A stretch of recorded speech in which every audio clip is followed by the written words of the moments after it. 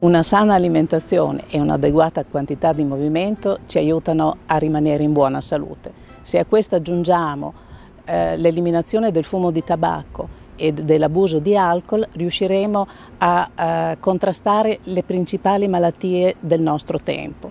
In questa puntata parleremo anche della prevenzione del fumo di tabacco e dell'abuso di alcol. Tumori, eh, diabete, ma anche eh, malattie cardio-cerebrovascolari, quindi infarti ed ictus, sono collegati principalmente a quattro fattori di rischio, l'alimentazione, l'attività fisica, ma anche il fumo e eh, l'abuso di alcol.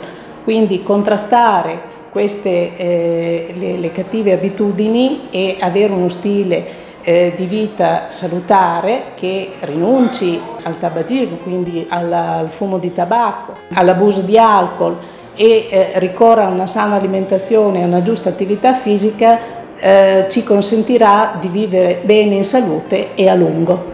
L'Organizzazione Mondiale della Sanità ha eh, messo in evidenza come le abitudini alimentari siano in grado di condizionare molte malattie croniche come l'obesità, il diabete, diversi tipi di tumore e le malattie eh, cardio-cerebrovascolari, quindi eh, l'ictus e eh, l'infarto. Queste malattie eh, causano mh, da sole oltre l'86% dei decessi e ben il 77% di perdita di vita di anni in buona salute, quindi se si allunga la vita però rischia di non essere di buona qualità. Oltre a una, um, un notevole impegno di spese sanitarie, oltre i due terzi delle spese sanitarie complessive. Esiste un programma internazionale che è stato promosso dall'Organizzazione Mondiale della Sanità e anche eh, sposato da eh, molti governi, fra cui anche quello italiano, che si chiama Guadagnare Salute, che si propone di rendere facili le scelte salutari. Queste scelte salutari riguardano sia eh, le scelte individuali che le condizioni ambientali che le possono favorire. Si tratta di agire su quattro principali fattori di rischio. L'alimentazione, che sia giusta sia in qualità che in quantità, il contrasto alla sedentarietà, quindi all'inattività fisica, correggere l'abuso di alcol ed eliminare il fumo di tabacco. Se eh, si riusciamo a intervenire su questi quattro fattori di rischio, possiamo ridurre dal 40 all'80% le principali malattie eh, croniche che sono i tumori, le malattie cardiovascolari e quelle metaboliche, principalmente il diabete.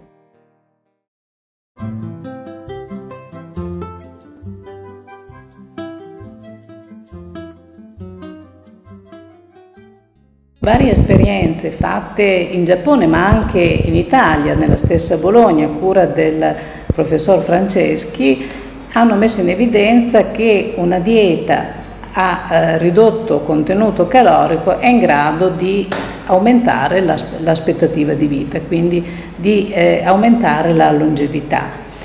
C'è un altro aspetto importante che dobbiamo tenere presente per mantenerci in buona salute e anche per controllare il peso. È assai utile distribuire regolarmente i pasti nell'arco della giornata. Fondamentale la prima colazione che ci aiuta a um, riprendere l'attività dopo il digiuno uh, notturno e almeno due pasti al giorno, quindi il pranzo e la cena, volendo intervallati da due spuntini, che possono essere l'occasione anche per aiutarci a consumare eh, la eh, dose quotidiana di frutta. Un altro segreto importante per star bene è anche quello di variare spesso le scelte a tavola eh, in quanto i cibi forniscono i nutrienti per stare bene, ma non esiste l'alimento completo in grado di fornirli tutti e nella giusta quantità, quindi è importante consumare un'ampia varietà di cibi alternandoli nell'arco della giornata e della settimana. Un intervento importante che si è svolto eh, nella realtà bolognese è stato quello della promozione del consumo di frutta e verdura, tant'è che le canoniche, le, le, le, cinque porzioni raccomandate sono consumate in modo più significativo nella nostra realtà territoriale rispetto ad altre aree del paese e anche alla regione Emilia-Romagna. Siamo arrivati nella sola Bologna al 17% di cittadini che consumano le 5 porzioni di frutta e verdura. Ce ne sono molti altri che devono raggiungere questo obiettivo, ma riteniamo che eh, sia un buon risultato rispetto al 10% circa che eh, interessa la popolazione nazionale.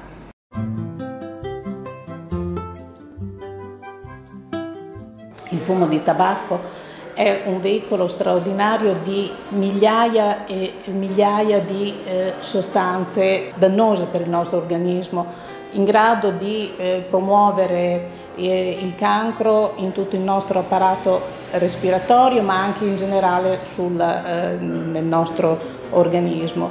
E quindi è veramente un veicolo straordinario di sostanze dannose per il, il nostro corpo e ehm, in grado anche di compromettere seriamente l'apparato cardio-cerebrovascolare per cui è, è essenziale toglierlo dalle nostre abitudini di vita.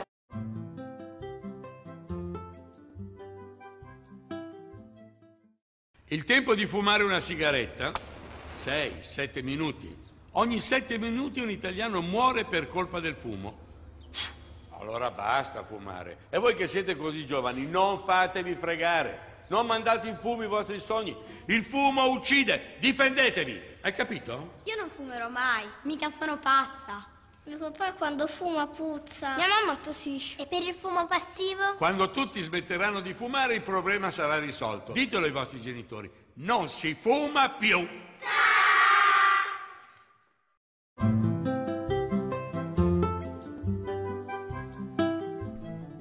l'Organizzazione Mondiale della Sanità dice eh, oggi, ogni anno eh, eh, nel mondo muoiono 5 milioni di persone.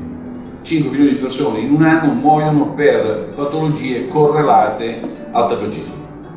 Ma la cosa ancora più grave è che le previsioni dell'Organizzazione Mondiale della Sanità sono che nel 2050, eh, se, se, si continua così, eh, eh, l'impatto sanitario eh, mortale riguarderà non più 5 milioni ma 8 milioni di persone. Perché parliamo solo di tabagismo? Perché c'è un trend, c'è un trend verso il peggioramento. Poi, come sapete, arrivano delle variabili, l'ultima variabile è questa della sigaretta elettronica, la legge Sirchia del 2003, cioè la legge che ha eh, finalmente eh, stabilito che nel, nei luoghi di lavoro non è consentito fumare, questo a tutela dei, dei soggetti che fino a quel momento sono stati esposti al fumo passivo. In edilizia c'è una percentuale di fumatori che oscilla tra il 40 e il 45% ed è una percentuale enorme se pensiamo che l'andamento la, la, generale nella popolazione che viene monitorato costantemente è tra il 26 e il 29%. Quindi proprio l'edilizia, che è uno dei comparti più problematici dal punto di vista delle sinergie tra fattori di rischio, vede questa grossa incidenza di fumatori, che purtroppo è stata confermata anche in ultimi, eh, in ultimi eh, questionari che abbiamo fatto nella corte di, dei soggetti, i vostri colleghi che vanno a fare lavori di bonifica sull'amianto, anche in queste, perso anche in queste persone abbiamo purtroppo il 40-45%. Due fattori di rischio oncogeni non eh, agiscono tra di loro per somma, ma agiscono tra di loro per moltiplicazione. Fumare sigarette ed essere esposti contemporaneamente ad amianto, e chiudo qua con questo esempio, se gli effetti di questi due cancerogeni fossero che uno si somma con l'altro, gli effetti nell'incidenza generale, nell'incidenza eh, dei eh, tumori negli esposti sarebbe 5, 17 più 10, diciamo 15. Come vedete dall'ultima tabella invece l'incidenza è eh, 53 piuttosto che 15, quindi molto semplice. Un fattore cancerogeno moltiplica l'effetto dell'altro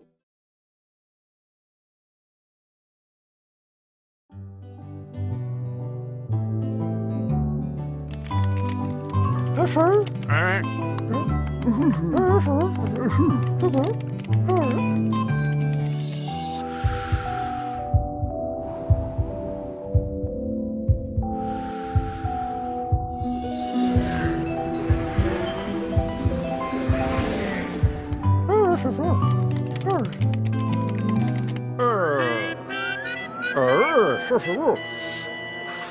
sure, sure. 我服了我服了我服了嗯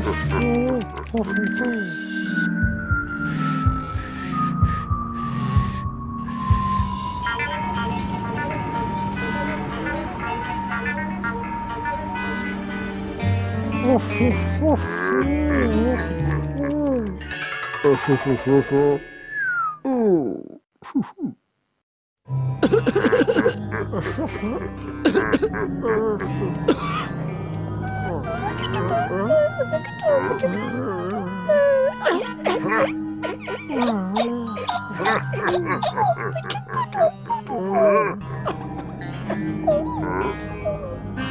Un chauffeur, hein Un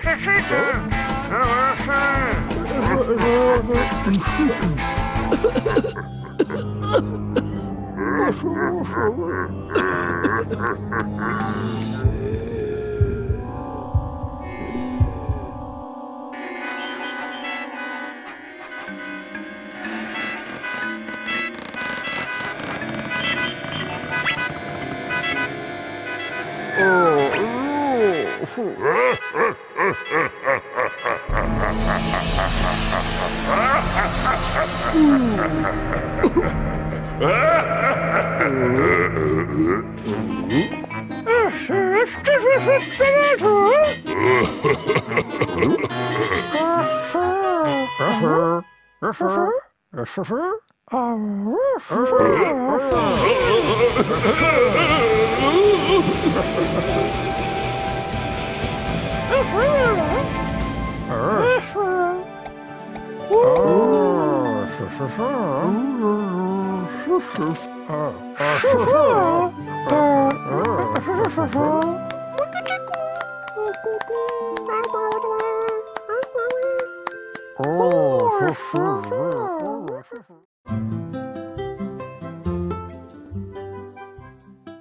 Che l'alcol può dare problematiche di tipo eh, infortunistico, può dare problematiche di, mal di eh, malattie di eh, diciamo, eh, corresponsabilità nell'insorgenza di malattie professionali, però può dare anche effetti psicologici, eh, neurologici e psicologici, per esempio nel senso della disinibizione, nel senso dell'aumento dell eh, dell'aggressività, molti episodi di quelli che da, da dieci anni a questa parte si eh, definiscono molestia, molestia morale, mobbing, eccetera, molestie sessuali, no? sono fenomeni che eh, possono essere eh, agiti non da persone eh, con eh, alcoliste, con una dipendenza alcolica grave fisica, ma persone che hanno abusato nella singola circostanza de dell'assunzione di alcol, questo ha, può aver determinato un effetto disinibitorio. Il problema,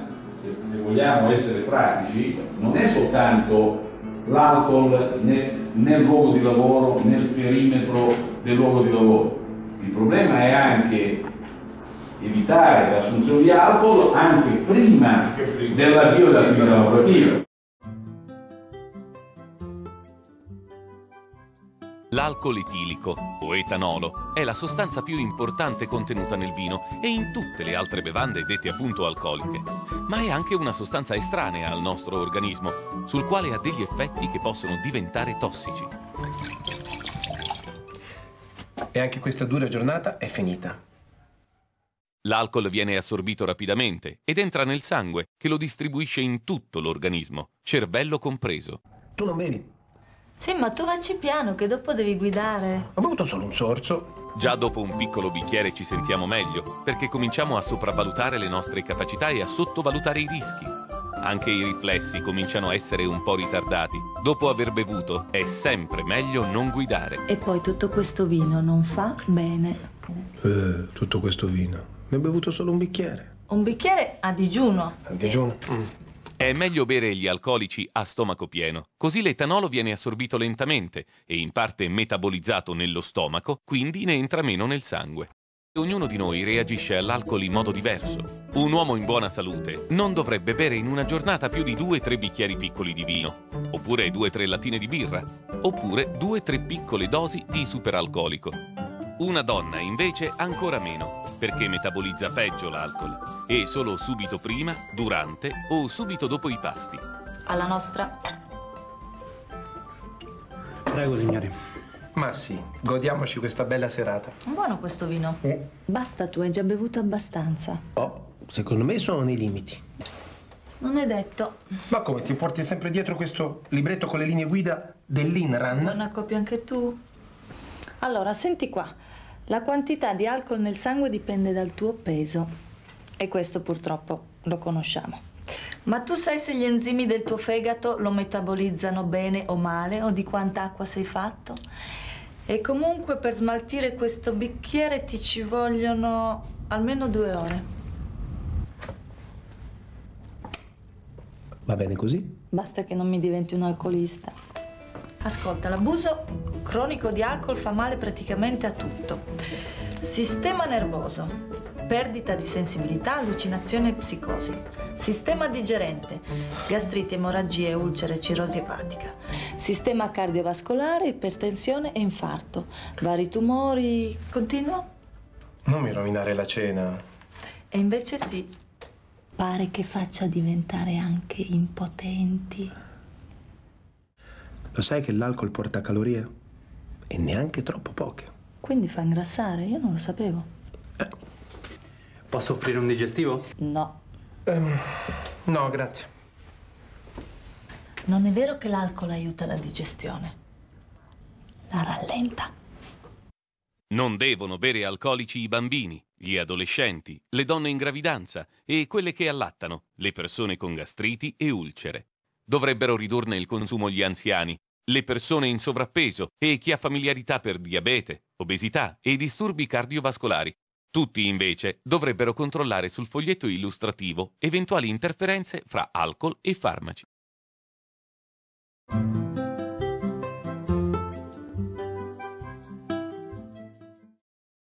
È difficile che gli adulti inizino uh, ad avvicinarsi all'utilizzo di sostanze psicoattive eh, se non lo hanno già sperimentato anche in età adolescenziale. Quando nella vita di una, di una persona adulta per poter affrontare i problemi della quotidianità, i problemi della vita, dobbiamo fare ricorso con continuità a sostanze di questo tipo, beh, eh, ecco, ci troviamo di fronte a um, abitudini diciamo, che eh, hanno bisogno di interventi di contenimento perché spesso adulti che ricorrono a, a, all'utilizzo di queste sostanze sono adulti che spesso hanno problemi di tipo depressivo mm, e che quindi poi vanno in un qualche modo eh, curati.